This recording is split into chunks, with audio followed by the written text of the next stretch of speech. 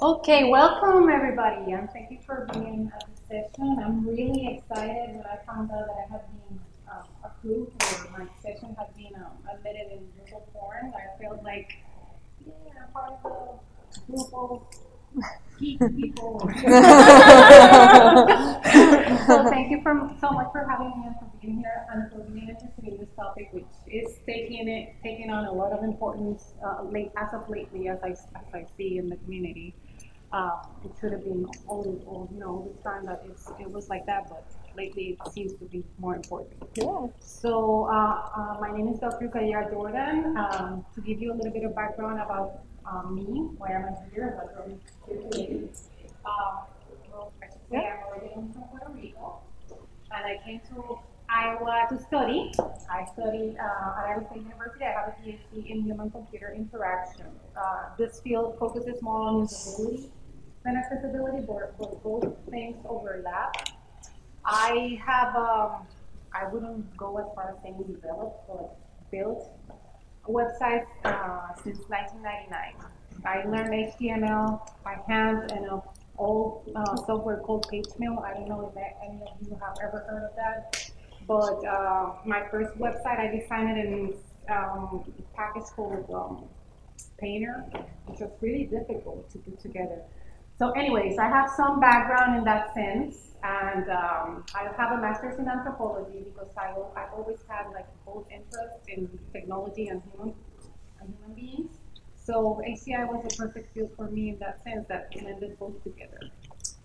And now I am the web accessibility coordinator at Iowa State since uh, January the first ever. Yeah, so she's the first web accessibility coordinator at Iowa State University, and um, I was really excited when she came to the university. Uh, Zayira and I met right away. I think it was right when you started, and we've had some wonderful conversations um, with uh, our team, and we've really um, enjoyed working with her.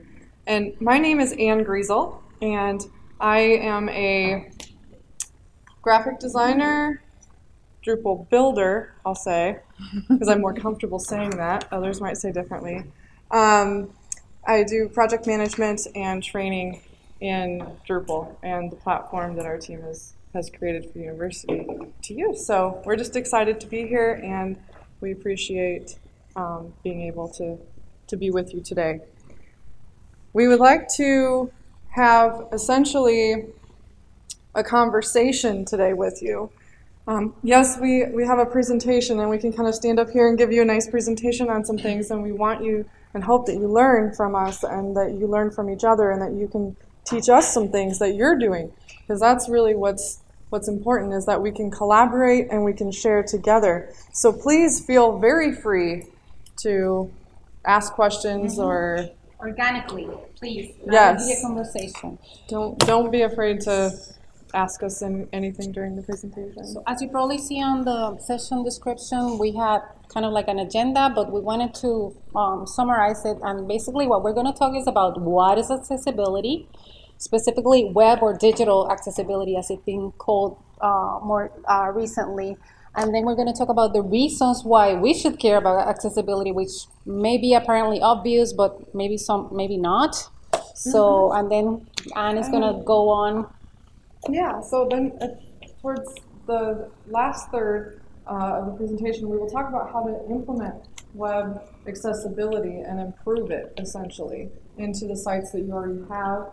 Um, most of the sites you have are, I'm sure, following web accessibility standards to at least a, you know a certain level that just need improvement. And it's important, I think, to understand how you can improve the health of your site very you know, quickly, and there's some free tools out there. So what we would like to do is to show you some of those tools and simulations. We get really excited about simulations because that's something that you can actually collaborate with your teams on. And we'll talk about how you can take back some of these concepts that we're talking about today. Oh, I'm no, you're fine. No, uh, well, we showed, we showed Yeah. them. Anyways, my point with this was ask you guys before Yeah. showing this, what is what what is what is the first thing that comes to mind when you hear accessibility? Ramps, right? Good answer. Well, you know, you guys might have heard of it in the digital context, but many people, most people think about ramps and cuts. And that there's a historical reason for that precisely. Universal design and accessibility was first um, concern of the realm of architecture. And there was this guy, Ron Mace, who coined the term universal design. And universal design was a movement within architecture to make physical spaces more responsive to the needs of all users, including users with disabilities. Not only devoted to thinking about persons with disabilities, but all users to the greatest extent possible. So uh, as you see here, universal design conflagrates or uh, reenacts uh, concerns with disability, accessibility, and inclusion. So for that reason, it's an ideal paradigm or an ideal framework for talking about web accessibility as well. But um, that's that's the historical root, and uh, the definition itself. Um, I wanted to uh, quote from Ron himself. He coined the term and he used, it to describe the concept of designing all products and the built environment to be aesthetic and usable to the greatest extent possible by everyone, regardless of their age, ability, or status in life. He was also a great advocate of persons with disabilities, so that he had that um, understanding and, and concern throughout his professional career. Um, it gained popularity in the 80s, and then uh, as a result of the spread of the web and the internet and people thinking about the web and the internet as a digital space, the terms were really applicable to that realm. So they are, uh, I guess, extrapolated to the realm of the web and digital spaces. The principles of universal design, I'm, I'm showing them uh, an adaptation, uh, showing you an adaptation of uh, uh, versatile approach in universal design for higher, higher education.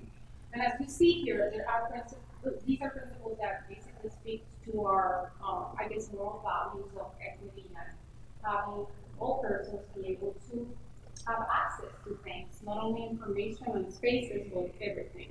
So as you see here, equitable, flexible, simple and intuitive, perceptible, all these things seem to more or less apply to the things that we do on the internet in digital content. Uh, so that's why they were extrapolated into this realm. And then we go into what is specifically web accessibility. And we have a definition brought up by the World Wide Web Consortium, the W3C, which says that web accessibility is that having the web means that people with disabilities can access the web. It not only means that, it also means that it benefits people without disabilities. Just like the ramps and the curb cuts have been adopted by persons like the mom who's dragging the kid along or uh, pushing a stroller. or uh, when we go shopping and we have a cart, we push our cart up the ramp, things like that. We take advantage of those, uh, I guess, uh, evolutions in, in design. That's precisely what happens with the web. When we design for thinking in accessibility in mind universal design, we design uh, and bring benefits to people of all kinds. And then we're going to talk a little bit about the why, the reasons why. Mm-hmm. So essentially, we really um, care about accessibility lately. It's been kind of a hot topic, I feel like. Um, just recently, within the last few years, it's really started to drive home. And there's been an amazing, you know, from what I've seen with Drupal 8, there's been actually a lot of um, talks. There's been some at DrupalCon uh, in New Orleans. I believe Phase 2 did one. There's also documentation uh, that you can see looking at Drupal 8 in the ways that it's approaching accessibility. So why do we actually care about accessibility other than like the humanity like side of things? I think that we need to really care about others, but it's also because some of some of us in higher ed and other places are seeing cases, actually cases come to fruition and people saying, you know, this site needs to be accessible to visually impaired. This site needs to be accessible to those with low hearing. You know, where's the captioning? where's these other types of needs that everyone has, you know, everyone essentially has, and, and like Zayira said, it actually comes down to usability so that it helps those who even aren't necessarily low of hearing be able to interact with the environment you're giving them in a web web space because maybe they're in a location like a coffee shop or somewhere and they're trying to listen to something and they forgot their headphones and they need to be able to see this video because they're going to go meet with somebody and and captioning will allow them allow us to to experience those interactions that we normally may or may not be able to have with the web space so. Okay, so I'm gonna go into the more kind of boring thing. But I wanted to try from a movie that you guys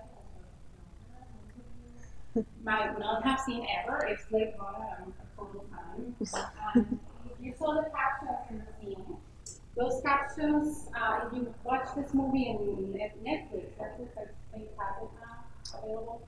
If you watch it on Netflix, those captions that were there were as a result of, of a legal case that was for a complaint that was brought up by the National Association of the Deaf. And um, I guess I, guess they settled with Netflix, and as a result, Netflix uh, from 2014 on has had captions in all the movies because the web or the internet was considered a public a, a place of public accommodation. So just like if you're uh, going to the middle of downtown, it's a place of public accommodation, or if you go into a federal building, it's a place of public accommodation. The internet is a place of public accommodation, and as, that, for, for that reason, we have to allow for people of every background to be able to access whatever information we provide in the internet. So there are, there are these two laws, federal laws that apply to these requirements. They, they the Rehabilitation Act of nineteen seventy-three and the uh, Americans with Disabilities Act of 1990, I believe. Title two and three. And there are local laws as well. In Iowa, there's the Iowa Civil Rights Act that applies to that as well. So those laws call for us to basically provide an experience to the user, even, you know, all users, including users with disabilities, the same type of experience. You see here other types of reasons why we should care about accessibility and universal design in our physical design. And uh, Mr. Lego guy, Lego guy, Jim Burge, brought up some of those yesterday, and I was really excited when I heard accessibility and search engine optimization because it does help with that. It helps with dependability, and these are data from W3C Consortium as well. They provide this information. This is the business case for accessibility. As you see here, it increases use and stickiness and findability and uh, goodwill, and it decreases the possibility of legal costs. And you might have an initial uh, increased investment in time in terms of your development time, but it does have a number of benefits that pay off at the end. And finally, like Anne said, there's the human resource. Um, accessibility is a human right, and it, as such has been recognized by the United Nations Convention for Persons with Disabilities, Article 21. And I'm going to read and quote exactly what it says. Countries are to promote access to information by providing information intended for the general public in accessible formats and technologies, by facilit- facilitating the use of Braille, sign language, and other forms of communication, and by encouraging the media and internet providers to make online information available in accessible formats. So you see there that the United Nations, United Nations has pronounced itself about these concerns that are, al- are also reflected in many of the missions of our own institutions. I know it is at Iowa State, I know it is at uh, most of, if, if not all of the higher education institutions in this country, is a, is a democratic value and it's, I guess, a human, a human value. Mm-hmm. So Anne is going to talk a little bit more about these mm-hmm. things, which Yeah. are more technical. Well, um, what I'm going to do is just touch on this. I think some of you, most of you that have seen um, the standards that exist, you can go to the Web Content Accessibility Guidelines and maybe get overwhelmed almost immediately. Um, I, I uh, yeah, I've been overwhelmed several times, but uh, there is actually a quick guide, and I'm I think I'm gonna keep the PowerPoint going for now, but at the end we're gonna show you some of these tools. But there is a quick guide that will help you uh, filter and actually determine the different levels, um, the different changes that you can make to abide by the various standard levels. So if you're not familiar with these, there are essentially um, on the WCAG standards, three of them. There's the A, AA, and AAA.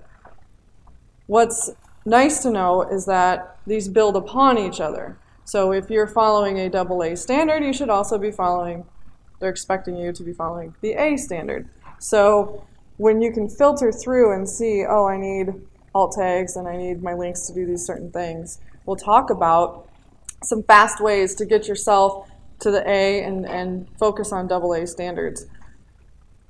There's also a really neat resource that Zayira found and we've been talking about, Luke McGrath's um, site on web, web accessibility.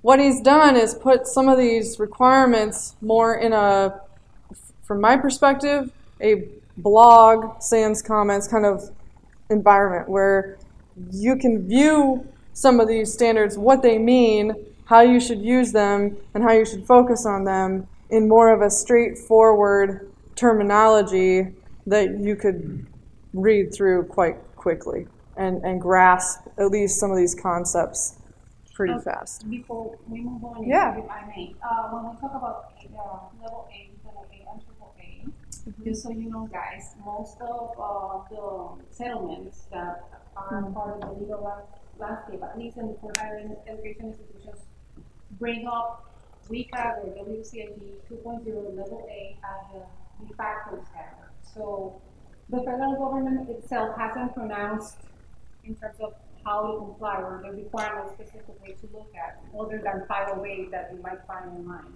But in most settlements, what they bring up is, is double A, level double A, WCAG standards or guidelines.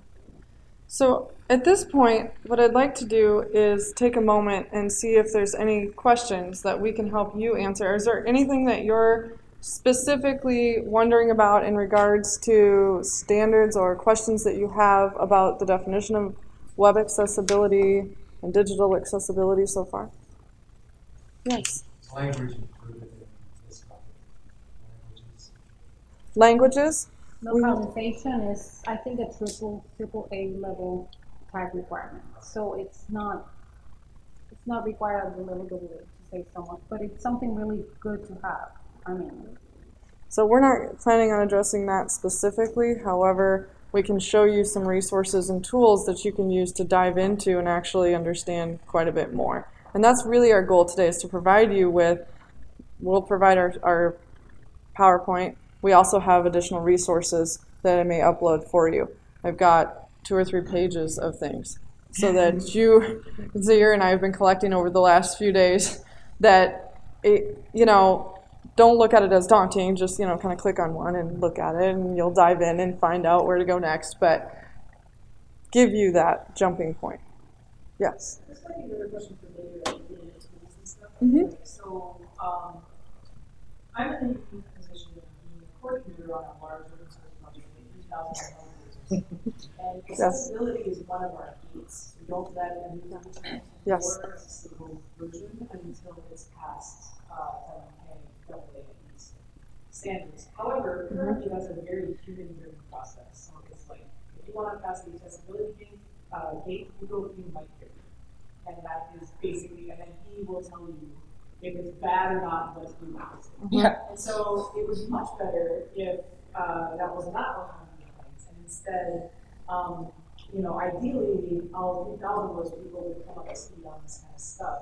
But in lieu of that, we rely a lot on automated tools. I'm curious if you know of things that we can put into our automated testing environment that can flag immediately and say, hey, we forgot an alternate on here, all that's been on an image over here, or hey, we, um, we don't have, um, the correct ARIA attributes or whatever, that kind of stuff. Because I think we collectively as, as individual developers with all different backgrounds and stuff have learned a lot of things that are not in our wheelhouse, just because a lot of us, not something we had to go look Yeah. at what that was. Yeah.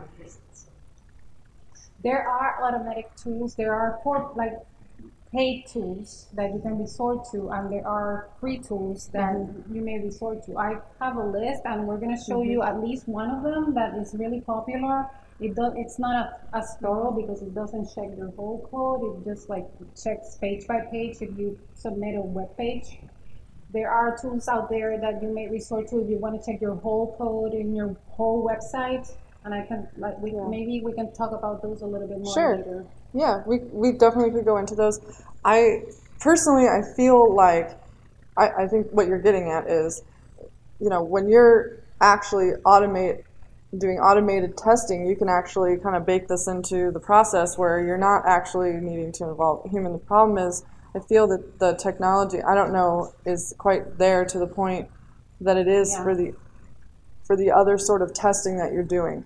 So when we're doing code testing, there's some great tools and ways that we can do that, or write our own testing, or you know, verify that this is yes, this is working, no, this is not working, and provide you a list. Whereas with web accessibility, I think it's a little bit more complicated. The reality Um, is that, oh, sorry, that I. The reality is that uh, automatic tools only tend to detect forty percent of the errors, to put it somehow, because most of these, these things are only, you know, perceivable through, you know, having the experience, the user experience, and have the user, I ha- actually, I have users with disabilities test the code or test actually the implementation so that they can, they can go through it with a screen reader or they can go through it as they would because I can't presume of being a user with a disability that I don't have.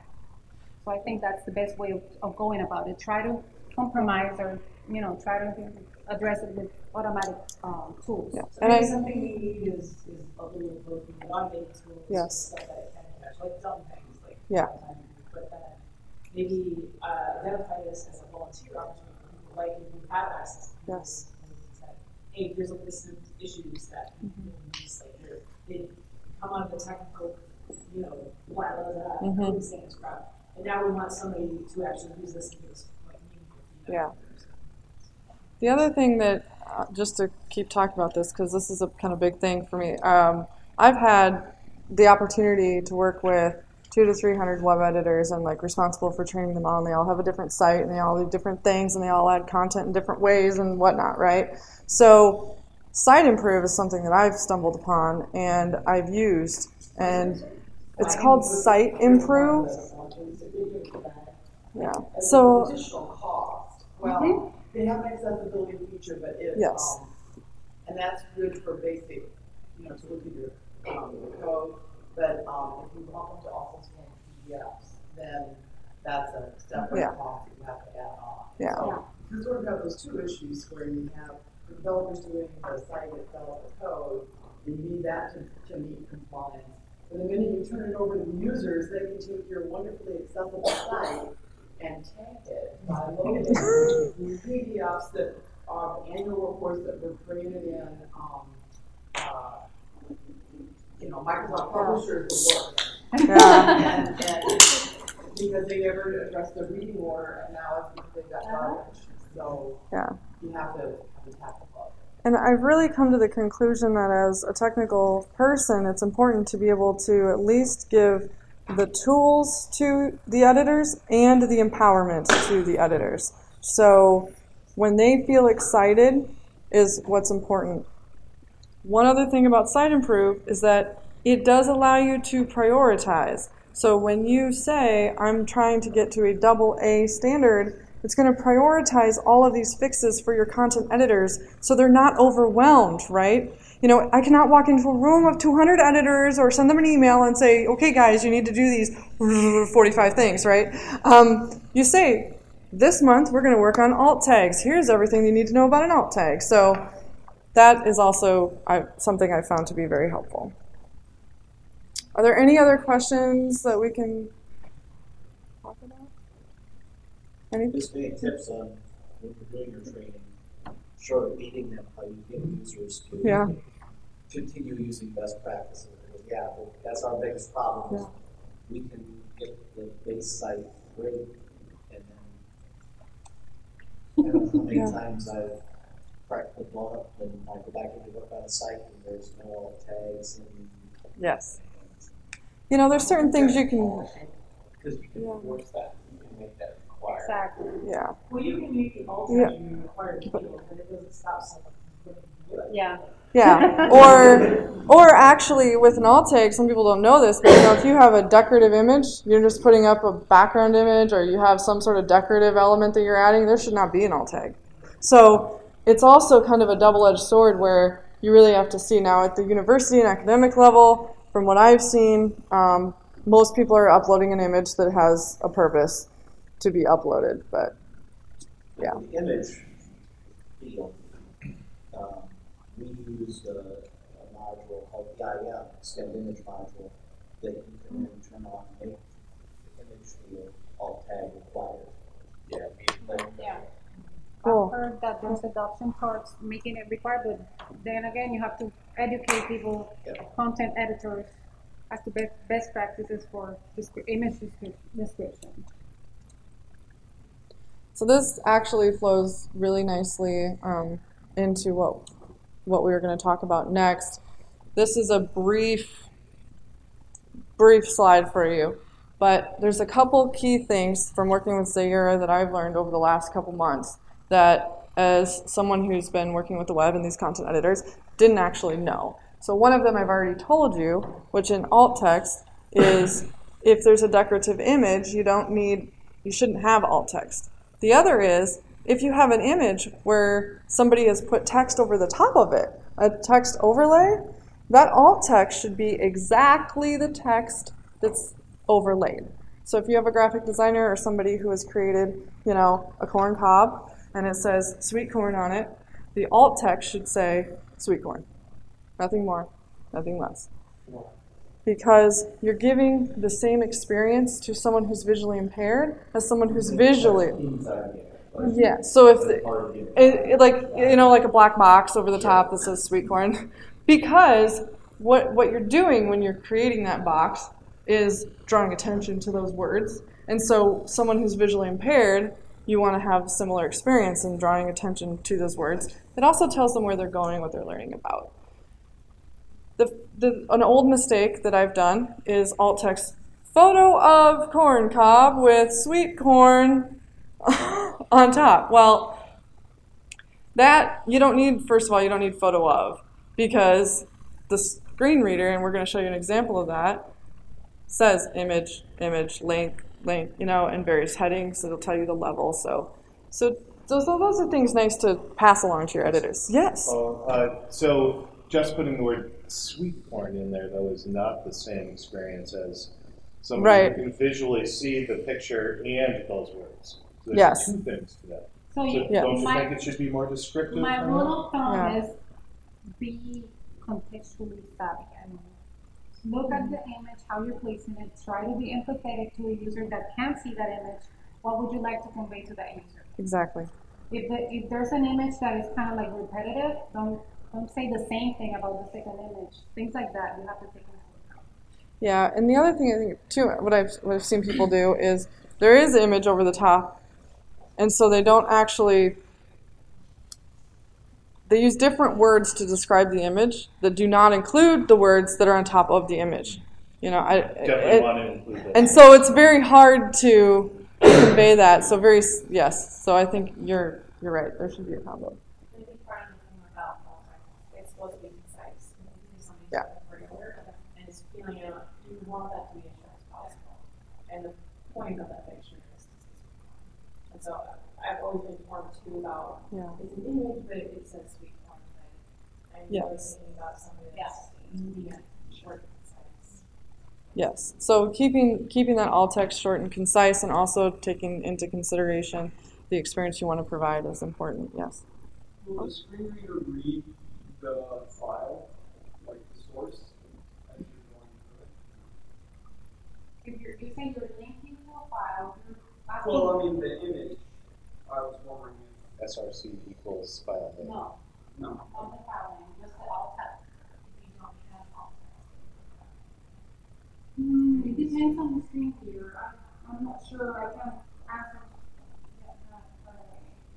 I'm just one flow that's playing a screen view for the same. We can, an assistive tool.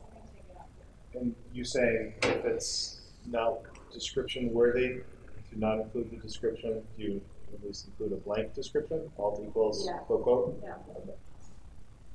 Okay. The other um, couple of items here are with dealing with color. So one thing I learned, you know, when you create a link, it should be. It's nice to have it in a color that people know that it's a link. You know, either abiding by the brand that you have for your website or, uh, you know, some contrast standards. So I'll kind of talk about both. But it should also include an underline or some other way to show that that link is actually a link because those with color blindness um, have a hard time distinguishing a link if it doesn't have a second way to show them that it's a link. And when you look at contrast, I've had, there's different contrast um, tools that you can use where you can put two different colors in and it will tell you um, how much the ratios are for those two colors. But even in a, you know, I, I've been a graphic designer, like I said, so you have visual guidelines, you've got primary, secondary, and tertiary colors that you should use, and you might say, I'm going to use this primary color because it's larger, and then I'm going to put the text in this other color, and it's it's in the brand, it's in the system. I can use it, and it looks good to me. Um, it's also important to put those two colors together and actually see do they have enough contrast for someone someone to you know read that text or know that there's a difference between those two colors. And headings, this is something I've run into with content editors that you can really talk about. Whereas if you take some text as a subhead, make it bold, and then you take some text and make it an H3, they're gonna they could look the same, you know, to, to somebody designing or looking at, at a website. So it's important to explain how we all know that it's especially for SEO and you know experiences that we have these H1 through H6 tags, but also that's going to help with the hierarchy of the web experience for someone with low vision. And so there's multiple layers to how and why some of these things are important. We also have a nice uh, little surprise for you. Site, or I'm sorry, um, buildamodule.com has provided you with a free 24-hour pass for you to look at some of their um, tutorials for Drupal. But uh, Chris Shattuck also has, I don't know if you know this, several tutorials on accessibility. And so I have really enjoyed listening to those. And I contacted him last week. He's been a good supporter of DrupalCorn for quite a while now. And he said, absolutely, and provided you this opportunity. So the accessibility bits that he has are really concise, straightforward, using Drupal sites, talking about things that are related to Drupal. They give you just an overview and a really good concept of some of these ideas to take back and even take back to your teams.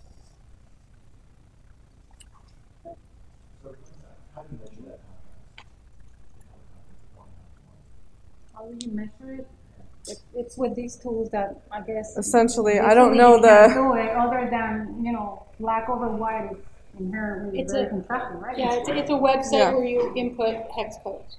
Uh, yeah. Yeah, sorry. Yeah, and we'll show you that. We've got. What's the ratio on black and white? I don't know. Oh. It must be, what, one, one? Two? I would assume. One, two, none? That's what the tool is for. Nobody reads the nobody reads the spec. You just put your thing in the tool and you fix and whatever Higher you than say. twelve point five to one, I'm sure. Green or red, go or no. We'll do it. We'll do it in a minute, and we'll find out. Okay, good. Do it. Go on. Yeah. So, perfect. We're gonna walk in. Zayira is gonna just go through some of these. We're gonna tell you what some of these tools are, and then we will show you what they are. with We're gonna play. So, Um, What, we have enough time? oh yeah, we got Okay. We've got time. Okay. Yeah, we're good. I want to see. Okay, it. so the first We're one doing is it. really cool. it. It's a color blindness simulator that I found, and uh, I wasn't even aware that color blindness comes in many colors. So I thought that it was only green and red that got, you know, confounded or whatever. But there's actually monochromatic and other sorts of color blindness. One in every 12 men are colorblind, one in every 200 women.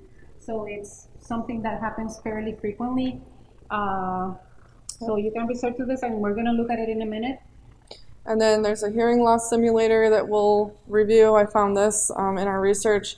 That's really nice. You can see what it's like to listen to somebody in a coffee shop speaking a sentence and go through the different levels of hearing impairment that somebody might have. So everything from normal to a severe hearing level impairment. And what is that like for someone in a coffee shop? What is that like for someone sitting outside having a conversation? What is that like for someone talking to a child? What is that like for uh, you know a male versus a female talking in those di- in different environments?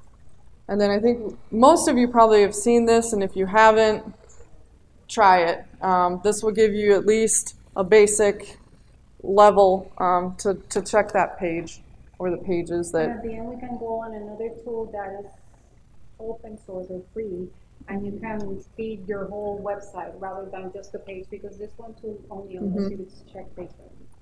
The one thing our developers do is they load the plugin into Chrome or Firefox, so that as they're developing, they can see it rather than. Mm-hmm, that's excellent, that's great practice. And here's just the WebAIM color contraster, which we'll look at as well. And I know we're drawing I have two more slides. We have two more slides. Um, essentially, Zayira and I really enjoy the human component of having these conversations and, and helping people to understand why and how accessibility is important.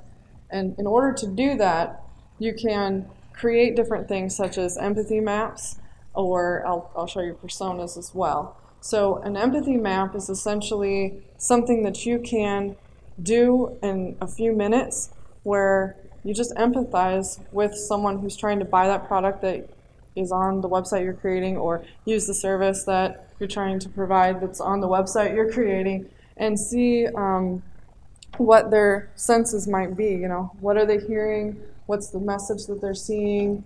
What's what is it that they're thinking about and actually you know put yourself try to put yourself you know in their shoes and empathize directly with them. What this does is it allows you what we kind of do Zayira and i is we kind of create these personas. And we sort of put them in our back pocket right? And we go into a meeting and we start talking about web accessibility. And we may have a conversation with some content editors or people that own a site and they ask questions and they don't maybe quite get it and you can actually pull out a persona and say hey here's here's fred and these are the ways that fred is seeing your site here's you know susie and these are the ways that susie's seeing your site and it just allows them to start seeing and empathizing with people that, that might need these. And i guess i should have gone to personas yeah. so all right. Um, we'll show you some of the personas that we've started. Uh, they are in beta, I guess. uh, We want them to be perfect. yeah, we want them to be perfect before we shove them out there and share them. I'm a little bit cautious of just sharing them with you, you know. However, uh, you can actually see see what we're doing. Data is involved too. This is not just you know writing and empathizing. This is we are this college is a one to one. Everybody's required to buy a computer. These are the things the students facing. Here's somebody that has you know these sort of accessibility needs, and they're having to buy this computer. And and how is their experience in the classroom going to be different than the other students in the classroom? And somebody who has to be required to buy this computer is also required for accessibility purposes, you know, on their own merit to like purchase these thousands and thousands of dollars worth of equipment, right, to use the web in an eff- effective and efficient way for them to learn. So just understanding and empathizing with people is important. Yeah. Yeah. So we'll see. I'm gonna have to come out of here and tell me how to do this. Oh, is it okay?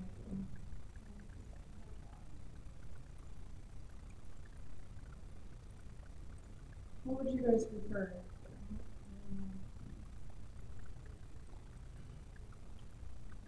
That? Okay. Okay. I'm not sure what to hit to get that to go away. There. Hopefully it'll get out of the corner. There. All right. So we started talking out about this WCAG. Uh, this is a something that I learned recently was that they have the quick quick reference. So you can actually filter based on what you're interested in. So if you'd like to see all the levels, um, or like we said, you know, level A and, double A, because that's what you're interested in, you can go through here and actually, you know, as Andrew mentioned, you know, focus specifically on ARIA and, and what areas uh, you should be thinking about for accessibility on your site. Um, so it's just a fast way for you to get the information you need. The other tool was, I think I forgot to pull up the, um,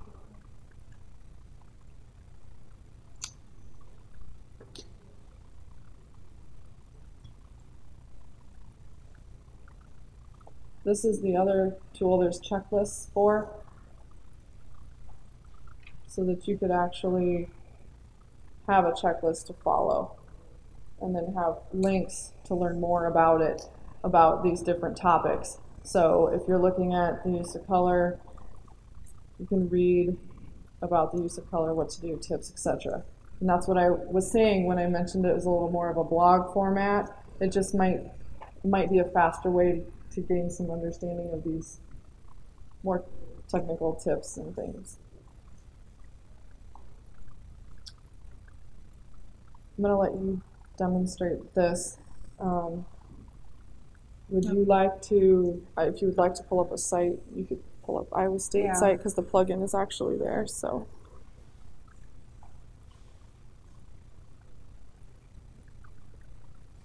Exit main four tab panel heading three. Skip navigation, sign mail outlook, Blackboard access plus directory, map safety contact, plus A, B, C, D, E, F, G, H, I, J. So this is not an actual screen reader. This is um, plugin. No, it's a It's a plugin simulator. it's a plugin that Chrome has called ChromeVox that allows you to yeah to briefly test if you want to experience how a screen reader works.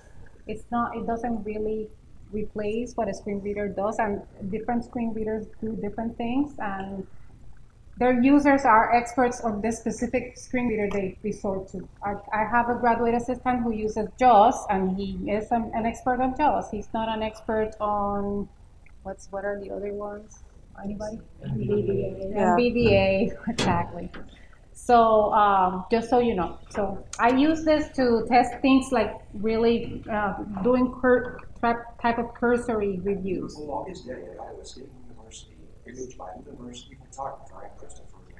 Oh, Iowa we're State back. found Expo, Kings Keep, and Eye of the Sky for more developing storms. Where are we? Image by University photographer and Christopher Lane. Pound Iowa State, pound You could Kansas. stop it and just refresh. Iowa State University. There you go. So I do.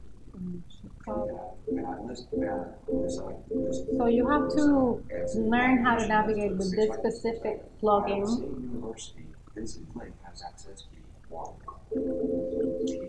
So you see that the user would have to navigate in a certain way, but you see that you provide a skip navigation link in case the user is a frequent user with a screen reader and you, and he, or he or she doesn't want to go through the, the whole, oh, you know, alphabet Alphabet every time. and things like that. Yeah. So that's just a brief demo. It's a really useful tool that Chrome has. Uh, other browsers have other tools. Chrome has a bunch of diff- uh, tool set dealing with accessibility. So you can resort to those.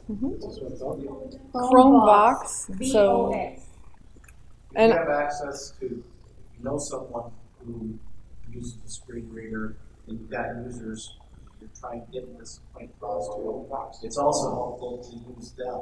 Yeah, them. definitely. We've Presentations on campus where I'll bring in the head of our, well, I always try to make the point to all of our users that Yeah, who needs this? Well, the head of our history department is one. And he's a long-term professor and he uses the screen reader. And then sometimes we'll have them or another professor do uh, training with us where they go through and use the screen reader and show how they read the web. And we talk about how to make it accessible for them. It, it really brings it to life Yeah, for people and realizing, definitely. okay, this is something that's used by people.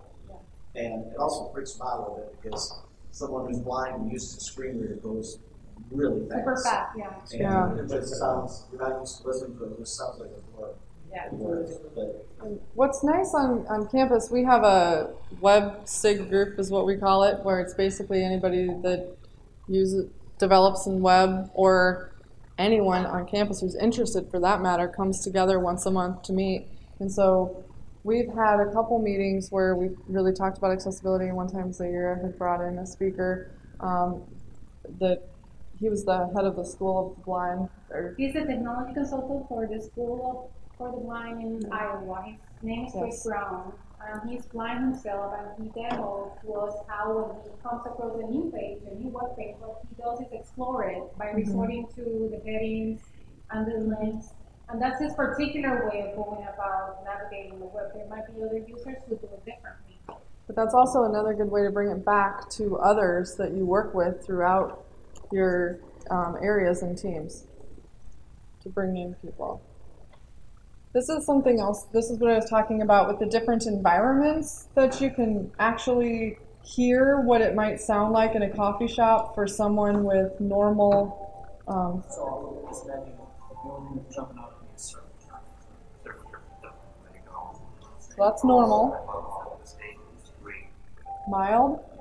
this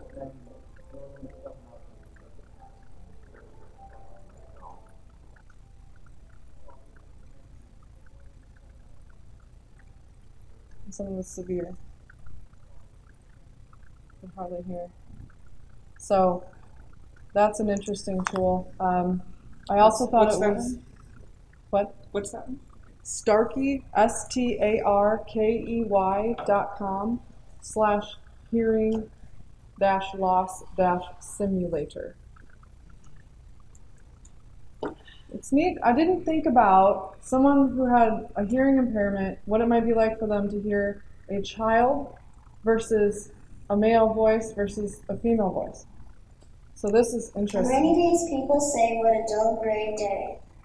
Rainy days, people say what a dull gray day.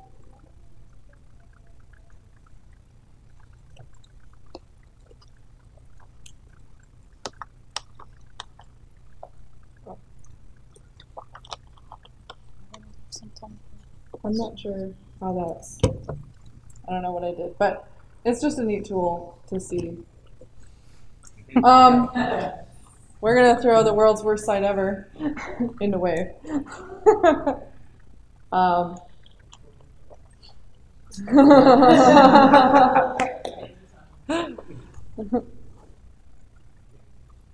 so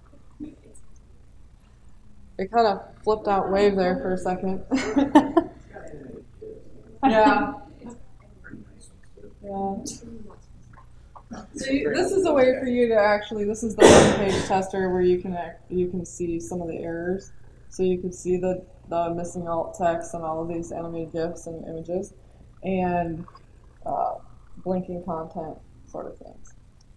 So it also shows some good things. But We threw them under the bus, but that's precisely what they want. yeah. Here's the color contrast checker. So, But the Wave WebAIM also has a contrast tab you can go to. Oh. Go back. okay. Check the black and white thing now. Twenty-one, yeah. Oops. 21. Twenty-one to one. Okay. So now you see, um, there's a green button below W Wave, that's this style. Yep. If you go to the far right tab for contrast. thing. Oh. And then what that will allow Yeah. you to do under the contrast tools, below that you see small text and large text and you have. double Yeah, the paths are not, yeah. And so if you click on one of the red arrows, it will take you to that particular color. And now you can go and either lighten or darken, and it will tell you what the, uh, color code is that Acceptable. you need to make it compliant. That's So if you excellent. put it, you know, put it once, twice, and then you can see if you like that, that combination. If you don't, then you go back to your Yeah. contrast checker and start playing around with colors to see if they work. It's a better combination. So There's does another tool that will actually hook into Chrome to where it can Yeah. change all the colors. Yeah.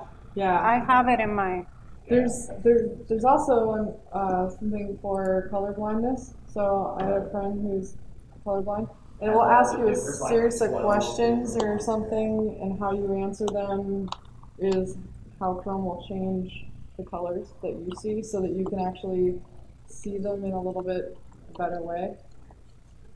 there is, there Excellent. are a number of resources that you can, I, I mean, uh, what I've been trying to do in my own efforts at Iowa State is to create awareness more than anything, but because there are so many resources out there, uh, and also like trying to vet whatever is best for our content editors and our developers and our faculty, depending on the role that they have and the types of content that they develop, you know, try to identify what's best, best for them. This is just one of the many uh, color, you know, Yeah, the one that we blindness looked at. simulators. But it's neat because you could actually upload an image that you're using yourself and see the differences. So this is an old, this is a vintage DrupalCon picture, but that's what it is. Um, we touched on personas. Mhm. So there's a couple resources. Usability.gov has a persona resource. And then actually in my inbox, like yesterday when I got to it, I saw this from Palantir.net uh, about about personas. So I think that's a good resource.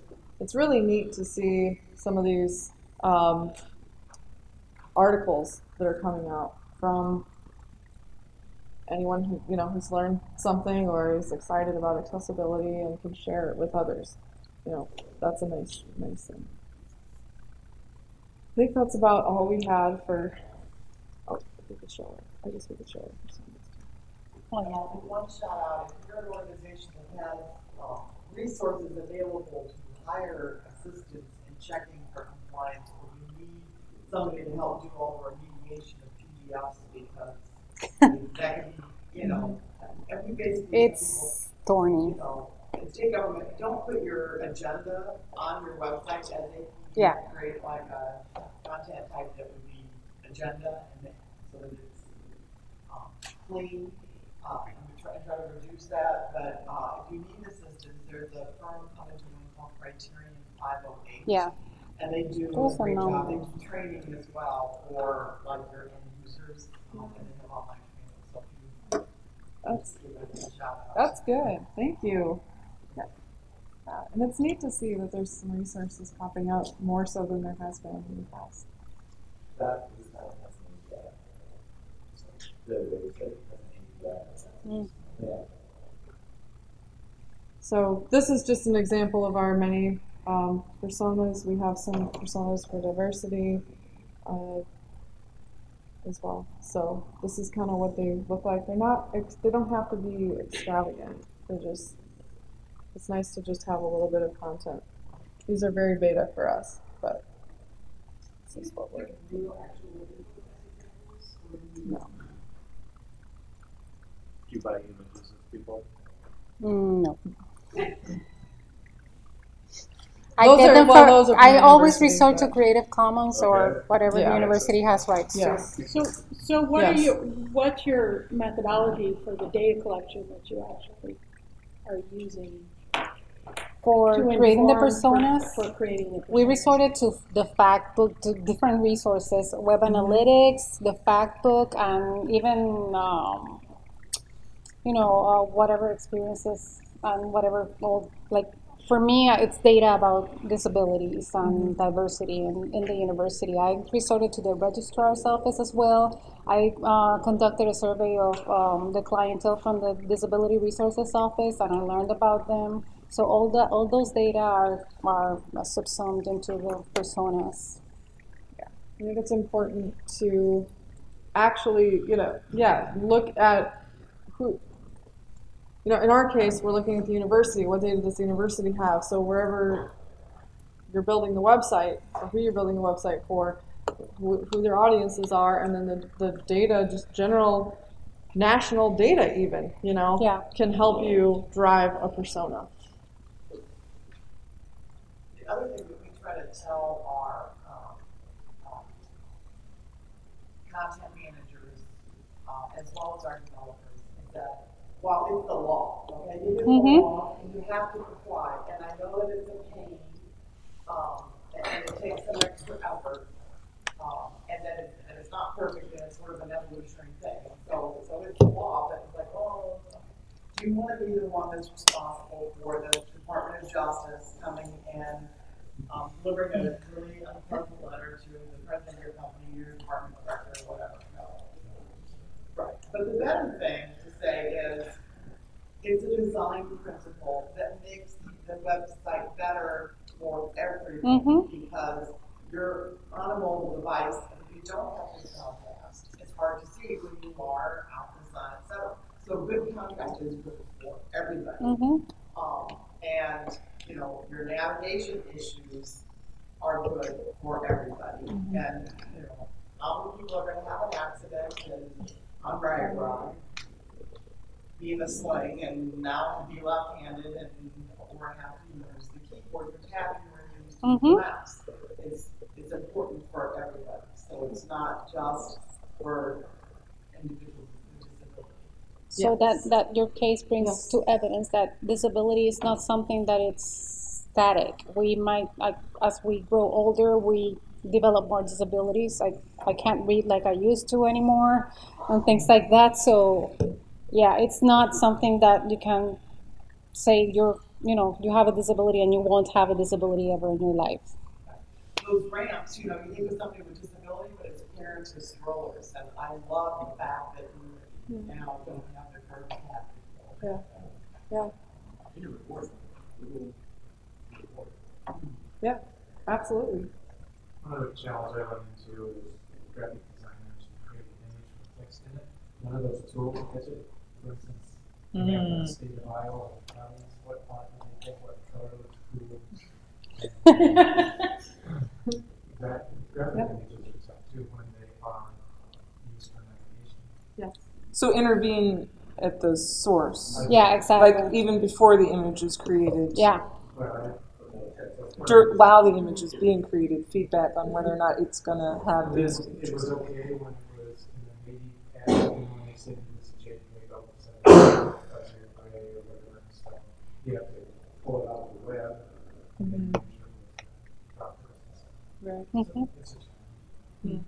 Another thing regarding the, you know, the DOJ complaint, it doesn't have to be about the website to end up impacting the website. Five or six years ago, I ran into a Drupal conference, the web developer from the East State. And he was there to learn how to use Drupal because he'd been directed to rebuild their entire website, which was distributed, but was no longer going to be, because they had a bathroom that wasn't accessible, and someone filed a DOJ complaint about a bathroom in one building, one bathroom in one building. The DOJ came in, looked at the whole campus, not only the architectural accessibility, but then they looked at the website and said, that's out of compliance as well, you need to fix all of this. So, I didn't somebody know about that about one little thing, trigger, all the way up to all of a sudden the website is.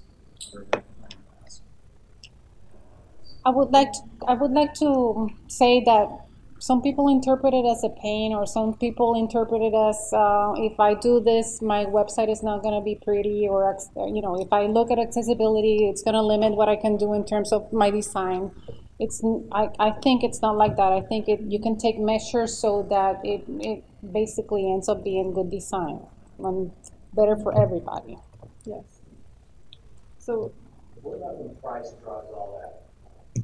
Right. There's a price on all of it, right? Right. I mean, you could Deadlines say, and everything. Yeah, I mean, even the fact, like, even if there is this, like, this free checker, there's a price on the person that's having to run the, the checker and, and then doing it, right? So there's, there's costs all the way down the line.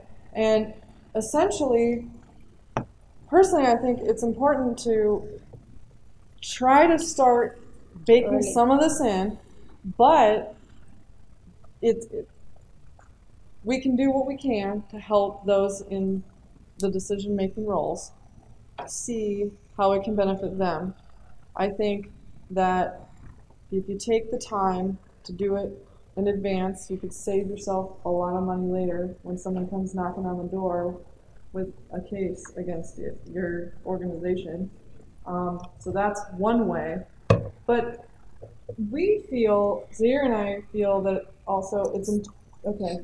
it's important to hit home at the other topics that we've talked about, the, hu- the human side of this.